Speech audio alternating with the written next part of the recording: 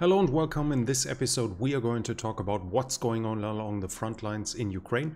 We are talking about the Russian attempts to build further troop strength and about the political implications in both countries, especially the troubles within Russia. Other than that, there is some interesting things going on in Kherson right now. Right now, we are going to talk about that as well.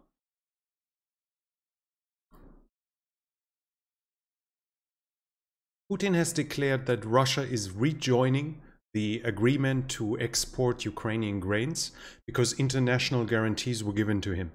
That's kind of interesting because at the same time, at the beginning of the war, he proclaimed that international guarantees are kind of pointless and untrustworthy and useless for Russia and to justify the war in itself. But this time it's obviously enough.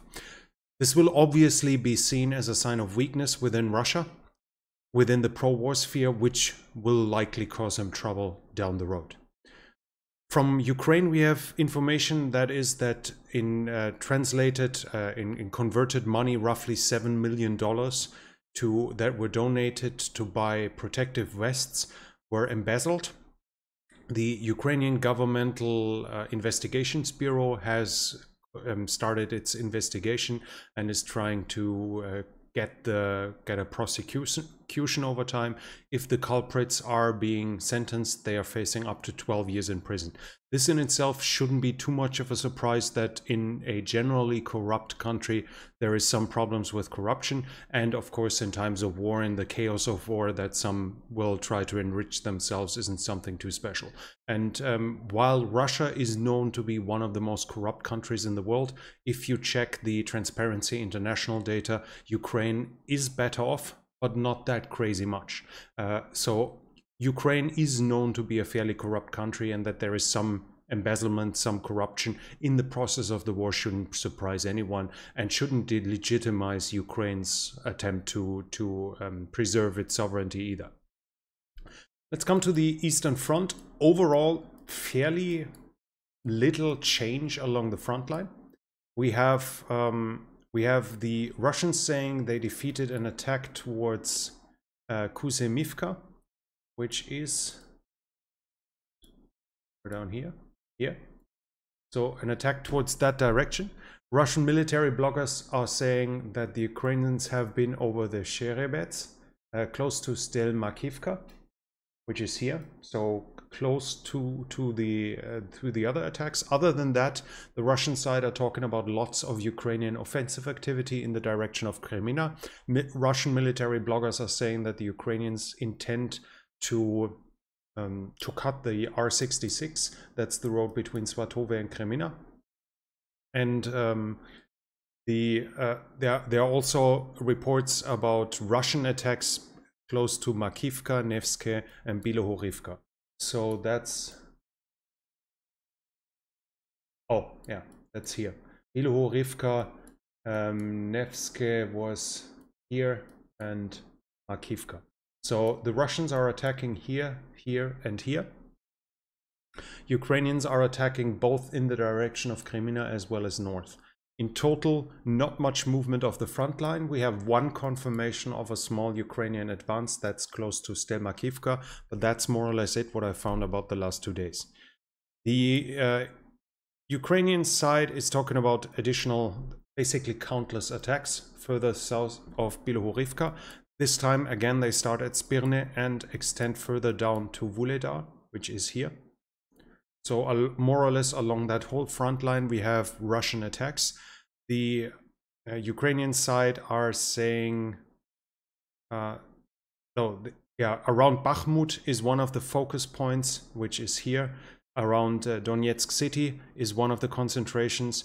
The so-called Donetsk People's Republic is claiming that Nevelske has been captured and Ukrainian prisoners were taken. This is here. We I, I have not seen any visual proof of that yet. The Russians are claiming progress in Marinka, that supposedly they advanced somewhere here. That seems to be true. And there are heavy, there's heavy fighting south of Vuhledar here in Pavlivka, which is still contested. There are still Ukrainian troops in it. That seems to be almost certain. The Ukrainians are saying they destroyed a hotel in Volnov, Volnovka, Volnovka, Volnovaka, Volnovaka, I think, here. Uh, in that hotel, Chechen troops had been stationed. Uh, this time the Ukrainians didn't tell us any losses, but as said in the past, if they claim they know how many people they killed 20 kilometers behind the front line, that's probably not too accurate if they give us some numbers there. The, um, the, the concentration of the current fighting is in Soledar, Bakhmut and Donetsk city according to the deputy defense minister. So Donetsk city around this here, basically around Avdiivka, Bakhmut is here and Soledar is here, Bakhmutske Soledar. This is according to the deputy defense minister of Ukraine, Hanna Maliar. Um, the attacks at this in this positions, the Ukrainians are defeating and, and repulsing up to a dozen attacks per day on these positions. So massive activity along the whole front line, and the Russians are gaining a little bit of ground, but not too much movement when it comes to the overall uh, change in territorial control. Along the southern front, we have the usual reports of artillery fire. Also, Shahed 136 and S300 have been used against, uh, for, um, among others, Mykolaiv and Dnipro. So Niko Nikopol has been shelled, Dnipro has been attacked, Zaporizhia, lots of other towns. In this area, the Russians are still attacking far behind the front line as well, as well as close to the front line. The deputy foreign minister of Russia, uh, Andrei Rudenko, has said the Zaporizhia nuclear power plant personnel in Enerhodar uh, that is essential for the continuation, continued um, use of the power plant has signed with Rosenergoatom, which is the Russian nuclear power agency.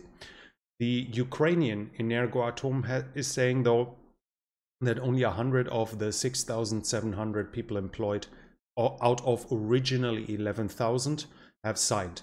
Uh, so the rest of the 11,000 have, have apparently fled, only 6,700 remained, and according to the Ukrainians, only 100 of them have signed. The Ukrainian inspector for nuclear regulation is saying the Russians have at one of the seven structures to hold spent fuel rods. They've built a structure which is unknown to what purpose, and it's against the security, the safety regulations. There could be a speculation that is to prepare a false flag dirty bomb attack. Um, spent fuel rods would be a good source for uh, nuclear material that is to be spent later as it is out of Ukrainian hands. I mean, uh, was under Ukrainian control until February or early March. That could be used in theory if they intended to do a false flag attack with dirty bombs. I don't want to accuse that, but that might be more important at a later point in case such an attack should happen. Um, then we could probably remember this event now. The I, I, EIAO, no, EIAA or whatever. The International Atomic Energy um, uh, Organization has um, checked Ukrainian installations for nuclear nuclear energy. Three different ones that are under control by the Ukrainian government, and have they have said they don't see any proof of the Ukrainians working on dirty bombs. The GUR, which is the Ukrainian military intelligence, uh, and again, I do this basically every video when I mention the the intelligence agencies or the staffs, um, they have an intention to to shape the informational battlefield. So we should always take their their messages with a grain of salt. But the GUR, which is the the Ukrainian military intelligence, they have said Chechens have arrived in the Zaporizhia power plant uh, likely to guard it, to protect it from now on, and that the Russian side has on the roof of reactor 5 installed an installation, uh, something to do aerial reconnaissance.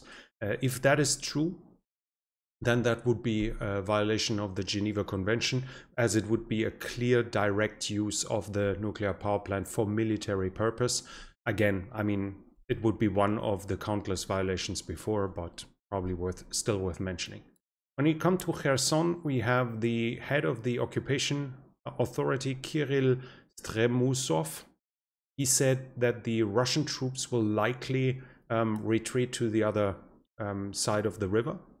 Uh, right now, there is a ton of rumors going on on Twitter. If you look into Twitter, you'll find countless rumors that the Russians are right now retreating. For instance, we have this here where they said on the on the administration building in Kherson, the, the Russian flag has disappeared.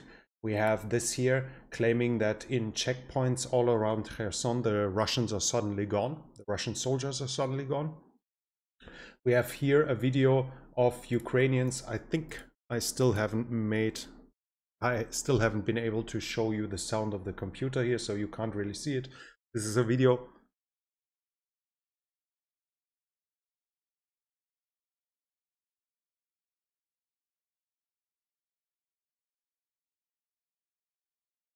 I shaved and some hair got in nose and throat, so excuse me please. So this video supposedly shows civilians being excited when they discover that from a checkpoint the Russian soldiers have also disappeared. Obviously without sound this is kind of pointless as you just see them driving by and hear the cheering. Um, we have a lot of, of um, examples here. We have uh, people driving around Kherson city are reporting all roadblocks, soldiers are gone, flags are taken down, defensive positions north of the city are abandoned.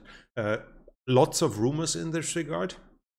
We have um, reports that the Russians are destroying, have destroyed the boats. Um, we see small pleasure craft here that have been destroyed. Uh, that could be judged in a way that basically they want to take away every easy easy means for the Ukrainian soldiers to follow them over the river, as obviously a small boat like this isn't really a good a military device, but if it's if it's powered by an outboard uh, engine, it could still be fast enough to transport, I don't know, six, seven men over the, the river in a fairly short time. And if you have enough of them, you can probably get the majority over the river without too many losses. And that's being claimed, but at the same time, we see something like this here. And according to the comments, that supposedly was the HIMARS. So that HIMARS hits, that HIMARS have been used to destroy boats to prevent the Russians from fleeing. Now, that could be, it doesn't mean that both can't happen at the same time, that HIMARS have hit some docks, some boats, while the Russians are destroying smaller pleasure craft to take, to make sure the Ukrainians can't use them. But it might mean that uh, maybe the, the pictures here, those damages might be from HIMARS 2 in some way, even though we don't really see shrapnel and we don't really see much here. But at the same time, those boats are really haven't been used in months, if not longer. So that they might sink, a few of them might sink, wouldn't be too much of a surprise either. Anyways, so according to all of this, we have a lot of rumors. As said, those are rumors at this very moment. I cannot confirm anything. I don't I think it is too early to confirm that the Russians are actually evacuating. It would fit the prior uh, message news we had that they started with supply support units, then they then the artillery and air defense followed. So all the units that can be easily hurt with um, can easily be overrun.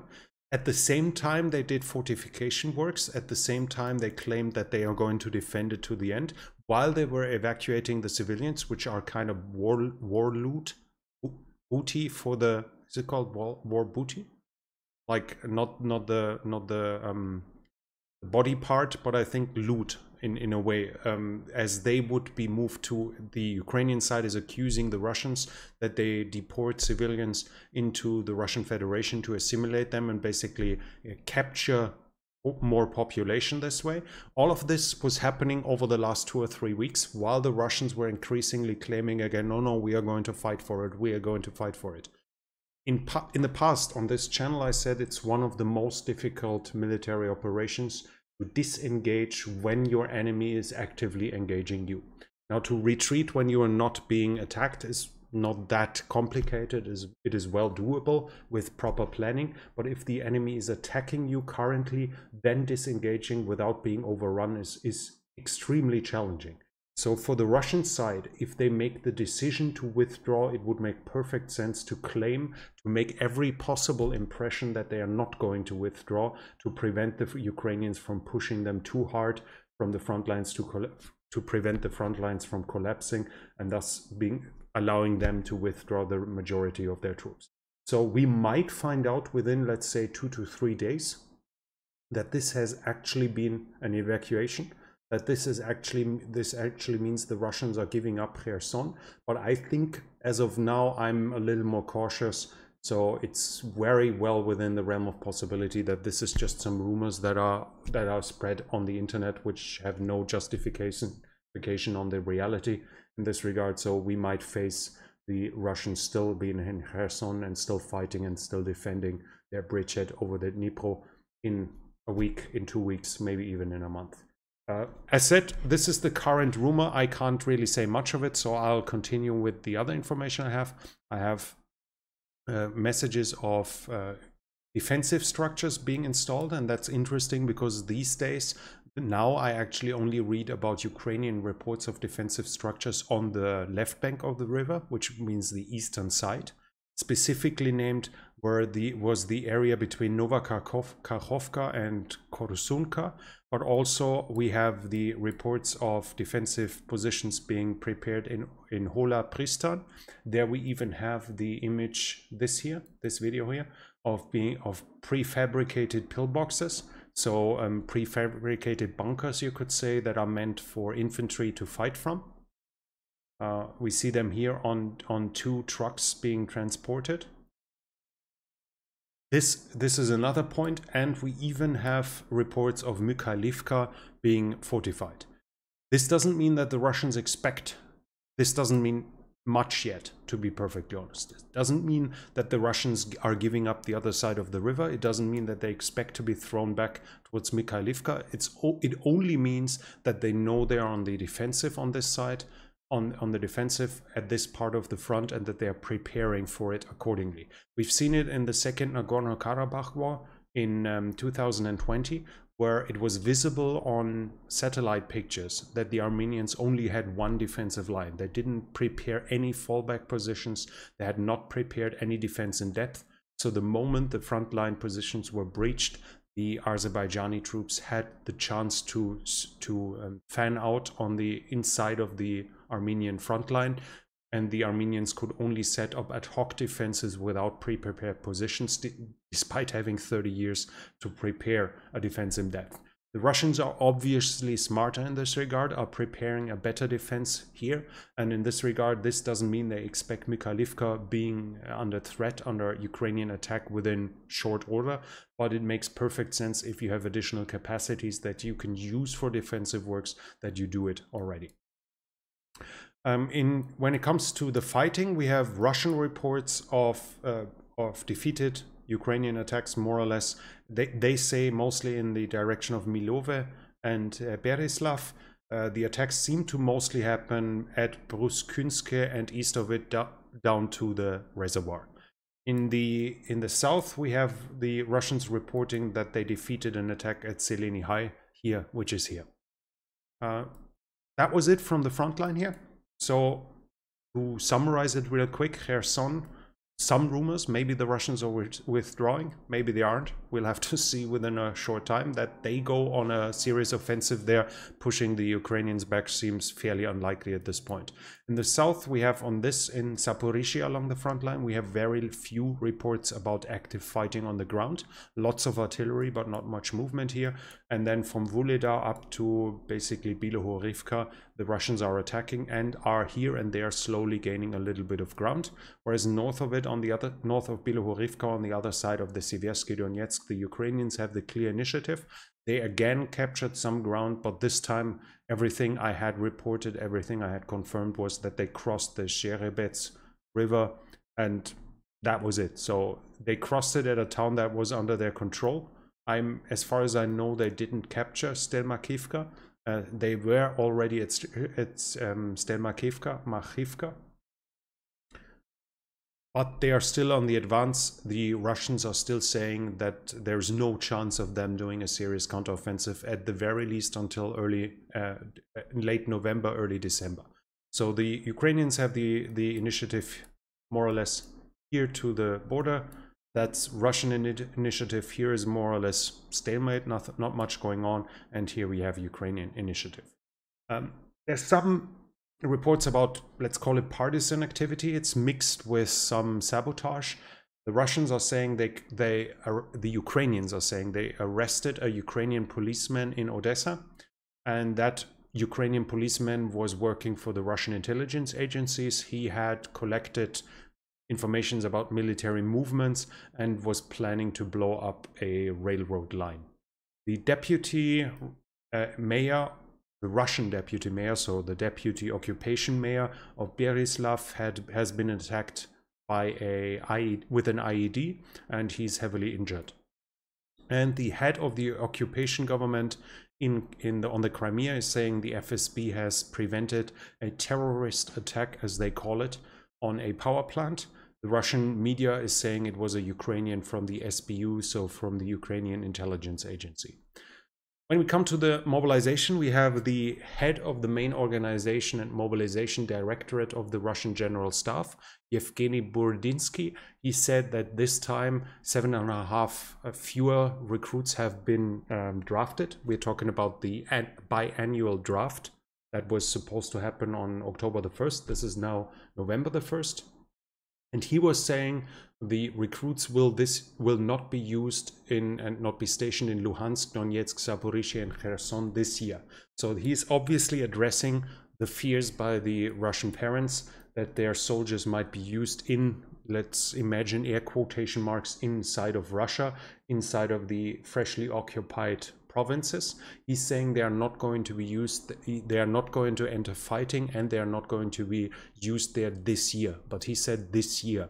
So next year might be a different story. And according to analysis, the Russians will probably be strong enough to more or less stabilize the front line with the freshly mobilized soldiers over the winter. But in March, when the recruits are fully trained, to the degree that the Russians usually train their soldiers before they send them into their units, uh, then they that that would be next year, March to May somewhere, and at that point they would have to be sent to their units where and those units in the majority are in Ukraine. So at that point, we can expect the, the regular draftees to appear along the front line as well. Uh, there are numerous Russian media reports that in the whole country, the mobilization is still continuing. People are still being handed draft papers or papers to, to um, mobilize them. The Central Military District supposedly said journalists that the mobilization is continuing until Putin is signing a decree that it was ended. And a member of the Defense Committee of the Duma, Viktor Sobolev, said, me, uh, said um, in, in talks with the media that a general mobilization is well within the realm of possibility if the situation is worsening. Novaya Gazeta, the opposition newspaper, I think they are now in exile. They said that at least 23 mobilized uh, soldiers were killed already through violence of their comrades with uh, alcohol abuse, drug abuse, suicide, and with, with accidents. Uh, in addition to the confirmed mobilized men that have already fallen. In Donetsk, there are reports that a camp is being reopened that was used in the past to house mutiny uh, Russian soldiers that were mutiny that didn't want to fight. They were housing them under horrible conditions to basically force them to enter the fight. The, the report of, about this is coming from Russian opposition media, so it might not be wrong, right? It might be wrong. We don't know. But they are saying the mobilized men are being forced to either fight, otherwise they would be given to Wagner to be used in the Wagner units. And if that is true, it would mean that they would be threatened with being executed, as we know from Wagner that they basically tell their fighters, if you don't charge the front line when we tell you, we're going to execute you. Um, but this time it wouldn't be criminals. This time it would be mobilized men, and that it would kind of make sense that they try to tell them if you are not joining your regular units and doing the duty we give you, you follow the orders we give you. We're giving you to Wagner, which will expend you. And if you don't want to, still don't want to fight, they will just give you a shot in the neck. Um, this would kind of make sense. Ukrainian authorities are saying uh, the the Ukrainian legitimate authorities for Melitopol and Mariupol are saying that the Russian occupation authorities are forcing inhabitants of both to enter volunteer battalions and territorial defense units. And from Ulyanov, we have a um, from Ulyanov and Sh Uvashia. We have reports about protests. We have an image here. I'm not sure. Yeah, here it's Ulyanov. Uh, Russian soldiers are complaining about uh, that they aren't being paid, um, that they have not been that have not received the the signing bonus that they were offered etc so they haven't received the money they're getting. This is obviously showing significant problems because if they those differences are not made up by the central government if they don't make sure everyone is getting paid then the soldiers will receive different payments for the same job which must harm the morale of the soldiers on the front line even further if they know that they are basically being kept on starving rations and the guys 50 meters down the trench are being paid wealthy wages. Um, also, this is showing that we're not talking, I mean, this isn't some civilians demonstrating here.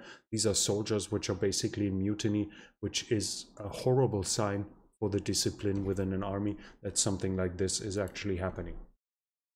Kadyrov has now said that he's going to um, draft further Chechens with combat experience but he said he's going to use them among Chechens, so likely with the Kadyrovtsi, so his personal military. They are not going to be sent to the Russian military, that seems likely. And he also emphasized that his men, his that the families of the men he's going to call up are going to um, know where their men are being used. That the this this emphasizing emphasizing this this part is likely an, a further attack on the Russian Ministry of Defense, where there has been a lot of of um, a lot of uh, problems, and the families of of people that were called up were complaining a lot that they don't even know where their husbands, fathers, brothers, etc., sons, where they are right now. And uh, Kadyrov is showing here apparently that he's going to do it better, which can be understood within the the current uh, power struggle within Russia that is being mentioned here in the situation reports over the last few weeks. Uh, the if the uh, as the mobilization seems to continue, while the mobilization seems to continue, but this time more or less in secret, they are no longer doing it officially. The government is claiming it's more or less over, even though there are still being people called up we now have reports that the, there are they, in Russia now there are renewed attempts to create volunteer units to find additional men to fight along the front line. But then again, uh, there would be the justification now to ask why would why would there be any serious volunteers showing up now that haven't volunteered in an earlier phase where victory seems seemed much more likely after the draft, after the the call up of reserves, it seems highly unlikely that any attempts to generate additional force with volunteer battalions now is going to succeed to a certain to a significant degree. That seems more more than unlikely. In Kherson, we also have the news that uh, the Russians are creating a territorial defense battalion with over 1,000 men from Ukrainian citizens. When it comes to the political uh, sphere, we have more informations about that the continued deportation or evacuation of Ukrainians, as said, which side you want to uh, follow more. If you see the world more pro-Russian, then then it's probably evacuations. The Russian, the Ukrainians themselves say it's deportations. That those from Kherson are continuing. Now they want to deport or evacuate 70,000 civilians from the eastern bank of the Dnipro, so from this side here.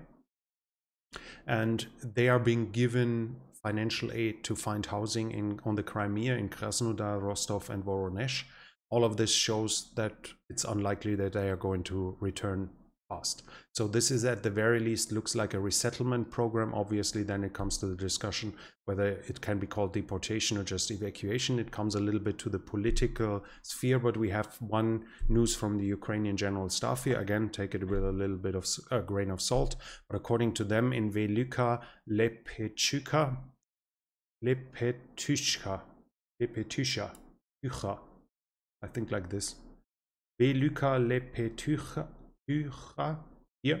So it's not even close to Kherson, and it's even on the other side of the, the, the Dnipro reservoir. Here, the Russians are evacuating people or deporting them, and According to the Ukrainian General Staff, the civilians are not allowed to take their private cars. They have to enter buses that being handed over to them. And that would indicate that the Russians want to make sure those people go where they actually want them to be, which would be an, a strong indication that this is not an evacuation but a deportation, as they want to control the Russian population, uh, the Ukrainian, I'm sorry, the Ukrainian population. They want to make sure they are not venturing off. They want to make sure they are getting away from there where exactly the Russians want them, and that is not within within Kherson Oblast. That's at the very least on, on Crimea, if not in Russia itself. All of this would indicate clear Uh, goal of deportation.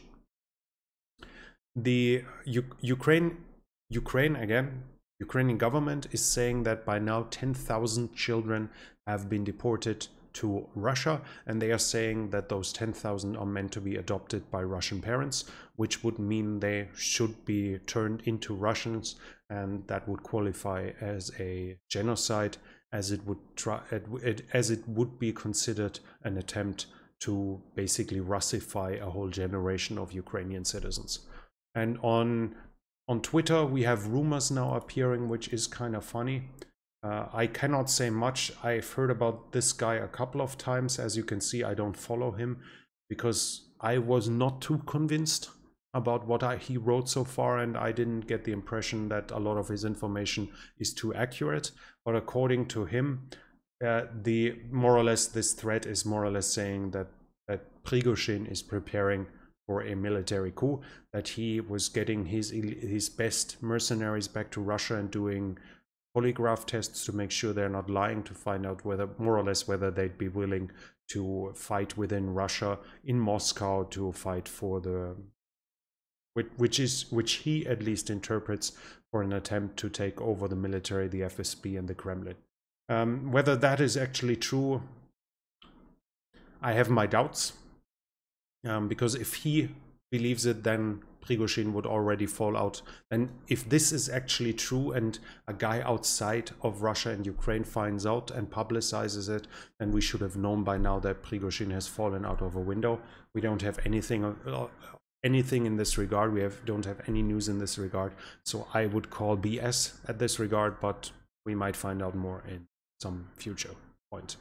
Uh, Finally, we have news the GUR says, the Ukrainian military intelligence, is saying Iran is delivering an additional 200, I think it was 300, 300 Shahed 136 Mohajer 6 and Arash 2 drones. They are going to be, de be delivered in parts and being put together, constructed within Russia and being, being thus getting uh, Russian signature, Russian uh, prints on it, etc., to make the impression that it's Russian drones and not Iranian ones. And the Speaker of the US National Security Council, John Kirby, has said that American intelligence agencies believe North Korea is supporting Russia with artillery grenades. Not that much of a surprise either, especially as we've heard about supposedly negotiations with Russia between Russia and North Korea about the sale of artillery ammunition a month ago at the very least, so some time ago. And finally, the last thing I have is this here a video of Azov fighters with um, with drones and guns against drones, and which shows that they are having they're getting equipment to to take down civilian drones. And we should mention what we can see here and what was wait let me take turn off my picture for a moment. What you can see here that is the black sun. The black sun is a neo-Nazi symbol, a Nazi symbol. Uh, it's basically a swastika with a, with a lot of additional arms. It's usually clearly used by neo-Nazis as a less obvious swastika. Whether this is a hardcore Nazi or not, I cannot judge. I can just say one thing without trying to defend him. I live in Central America, and when I moved here, I met a, uh, uh, a Colombian woman who told me her sister is like Hitler.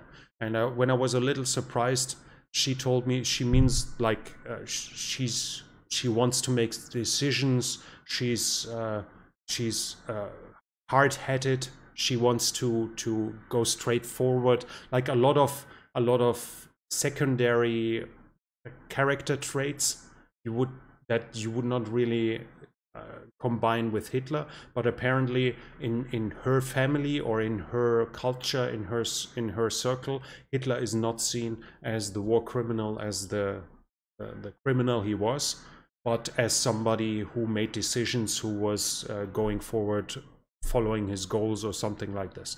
Uh, this is not to to justify anything that is going on by Azov. To me, it is completely irrelevant in this war whether or not Azov are hardcore Nazis or not. In my mind, it's only important whether they commit crimes and if those crimes are encouraged or prosecuted by the Ukrainian government. Anything else is something for after the war, in my personal opinion. So they can be Nazis, they might not be Nazis. I don't want to hide an image like this from you, the viewers. I want to show you that we see a black sun here. I want to say it's quite possible that this is a hardcore Nazi that is presenting himself here. It might though be that it is seen in some other cultural context, which should not be a surprise to anyone who has moved around in the world a little, that things that are outrageous to one culture are far less delicate to another culture. In this regard, as said, I cannot judge. I do not want to judge. You can call him the, the Azov uh, regiment, hardcore Nazis, I leave this to you. It's not my mission, not my goal to convert you in any direction here. So I just wanted to show you this image, both of the equipment they are receiving and both uh, try not to hide something that might be this and not not that positive for the Ukrainian side. I don't intend to hide it from my viewers like you.